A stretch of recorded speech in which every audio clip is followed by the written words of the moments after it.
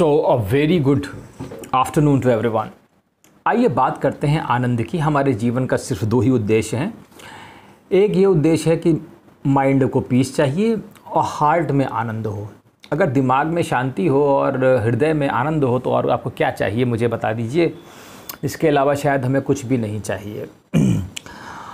Mind में शांति कैसे प्राप्त करते हैं, इसके लिए तो आप देख ही रहे हैं, कुंडलनी, क्रिया, योग देखिए और ये सब योग साधना करिए और अपने माइंड को शांत रखिए। लेकिन मैं आपको आनंद का अनुभव आज बताता हूँ। इस रोज़ के जीवन में आप आनंद कैसे देख सकते हैं, ये एक बहुत बड़ा चैलेंज है और ये समझना बेहद मुश्किल है कि हम इस रोज़मर्रा के जीवन में कैसे आनंद देखें, जबकि हमें हर जगह दुखी दुख दिखाई देता है। देखो, मैं तुम्हें सच बताता हूँ आनंद को तुम तभी अनुभव कर सकते हो, ये आनंद का पहले मतलब तो समझ लो आनंद है क्या। आनंद स्टेट ऑफ़ माइंड है, एक किस्म से और कुछ नहीं, ज़्यादा नहीं है, लेकिन एक स्टेट ऑफ़ माइंड है जिसमें तुम सब जगह, हर जगह, हर पल परमेश्वर का भान करते हो। उसका अनुभव करते हो, उसकी, उसके प्रेम और स्नेह की गर्माहट या वॉम्थ तुम्हें महसूस होती है। हर जगह, जहाँ भी तुम जाओगे, जिस भी आदमी से तुम मिलोगे, अगर तुम्हें वो प्रेम, स्नेह और गर्माहट महसूस हो और तुम देख सको और सुन सको कि हर जगह से वो बोलता है तो तुम आनंद में हो, मैं तुमसे कहता हूँ। और यही आनंद की परिभाषा ही है। ठीक है? इसको मैं अनुभव करता हूँ, इसलिए मैं तुमसे कहता हूँ, मैं तुम्हें छोटे छोटे उदाहरण देता हूँ। अगर मैं कहीं जाता हूँ, किसी से मिलता हूँ तो मुझे भान हो जाता है कि वो परमेश्वर ही है। मैं जिसको देखता हूँ, मुझे अनुभव रहता है कि हाँ परमेश्वर के अलावा यहाँ दूसरा कोई है नहीं। अगर वो मेरे से पैसे अधिक ले रहा है किसी चीज़ के तो वो इस तरीके से लेगा कि वो मुस्कुराते हुए कि मैं समझ जाऊँगा कि ये वही है। अगर वो मुझे कुछ दे रहा है तो मैं समझ जाऊँगा कि वो मेरे को दे रहा है प्रेम और स्नेह से। अगर वो मुझसे बात कर रहा है तो कुछ समझा रहा है तो मैं हर जगह जा रहा हूँ, उससे मिल रहा हूँ तो वो हर जगह मुझे अनुभव कर रहा है। मैं इतने सारे अनुभव नहीं, मैं तुम्हें अपने एक दो अनुभव शेयर करता हूँ कि वो मुझे कैसे मिलता है। एक दिन मैं पोस्ट ऑफ़िस महानगर गया, कुछ एनएससी पूरी हुई थी। अभी कुछ दिनों पहले की बात है तो मैं अपनी गाड़ी में एक भगवान की फ़ोटो मूर्तियाँ कुछ रखता हूँ। साथ में घूमते रहते हैं भगवान मेरे।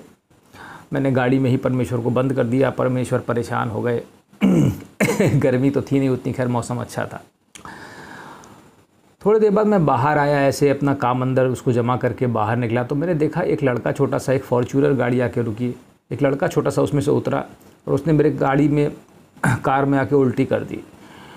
मैं समझ गया कि अंदर बैठे हुए परमेश्वर को थोड़ी तकलीफ़ हो रही है या उन्हें थोड़ी सांस में परेशानी है, इसलिए वे उल्टी करती है इस बच्चे ने मैंने उसे देखा, मैं समझ गया चीज़ को। तो तुम्हें सी चीज़ों को समझने और देखने की परख होनी चाहिए। मैंने गाड़ी खोली पर भगवान को बाहर निकाला और भगवान को हवा लगी, भगवान ठीक हो गए। तो इस प्रकार से तुम सब जगह परमेश्वर का आनंद ले सकते हो। तुम्हारी गाड़ी में कोई आके उल्टी कर देगा तो तुम उसे गालियाँ देना शुरू कर दोगे। मैंने देख लिया था और मैंने पहचान लिया था कि छोटा सा बच्चा था। फिर उसके पापा ने बहरहाल वो उल्टी उल्टी साफ़ भी कर दी, लेकिन मुझे कोई फ़र्क नहीं पड़ता। उसने उसी तरफ़ उल्टी करी थी जिस तरफ़ वो मूर्ति रखी थी। चांस की बात ये भी थी। तो तुम्हें चीज़ों को पढ़ना और देखना आना चाहिए कि कैसे क्या चीज़ हो रही है। तुम्हें बहुत जल्दी रिएक्ट कर जाते हो, चीज़ों को देखते नहीं हो। तुम्हारी कमी है। मैं तुम्हें दूसरा उदाहरण देता हूँ। मैं मैं, मैं नाका गया कुछ सीढ़ियाँ खरीदने। मैंने कहा टाइम कैसे पास हो इस लॉकडाउन में? मैं गया। सीढ़ी कहीं मिलती नहीं है। मुझे मालूम नहीं था सब लोगों ने सीढ़ियाँ बेचना बंद कर दिया। फिर भी जब मैंने परमेश्वर से कहा तो मुझे एक जगह ले गए।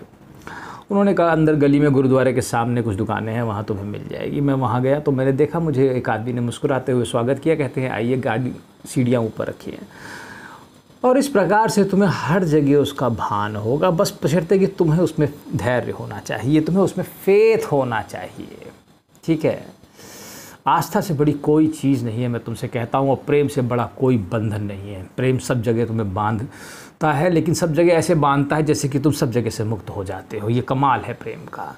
ठीक है? गीता के बारहवें अध्याय में, जाओ और देखो, मय्यव मन अधस्तु मई बुद्धि निवेशसी निवेशसी मय्यव ऊर्धम न संशया। केवल श्लोक लिख कहने के लिए नहीं कहा गया है, जहाँ जाओगे उसे पाओगे, लेकिन उसमें इन्वेस्टमेंट तो करते नहीं हो तुम, ठीक है? तो अगर अपने जीवन में आनंद चाहते हो तो अपने दिमाग को सिर्फ़ परमेश्वर में लगाओ, मैं तुमसे कहता हूँ, ठीक है? तो तुम उस आनंद का भान हर जगह करोगे, जैसे कि मैं करता हूँ। मैं परेशानी में भी उसका भान करता हूँ। कहीं मैं अस्पताल भी जाता हूँ तो मैं देखता हूँ वो डॉक्टर के रूप में भी वही बोल रहा होता है। मैं ऐसे कर दिया, मैंने वैसे कर दिया। धीरे धीरे करके मैं उसमें डिज़ोल्व हो रहा हूँ। कोई दिक्कत की बात नहीं है, ये प्रोसेस धीरे होती है और यही आनंद का असली स्वरूप भी है। उम्मीद है आपको आनंद की परिभाषा कुछ समझ में आई होगी। धन्यवाद।